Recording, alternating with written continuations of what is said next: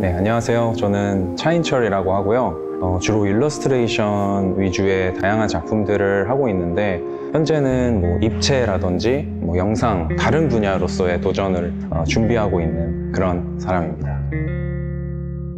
그 최고의 순간이 바로 지금이다. 그 문장 그대로의 뜻이거든요. 더 나은 내일이라는 그 희망이 우리를 조금 힘들게 할 때도 있는 것 같아요.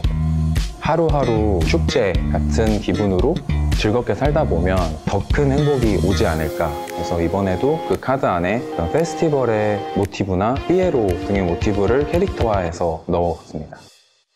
실패와 성공에 너무 집착하기보다는 도전이라는 것 자체에 의미를 두고 어, 무언가를 먼저 해보는 것. 네, 그게 가장 가치 있는 것이라고 생각합니다.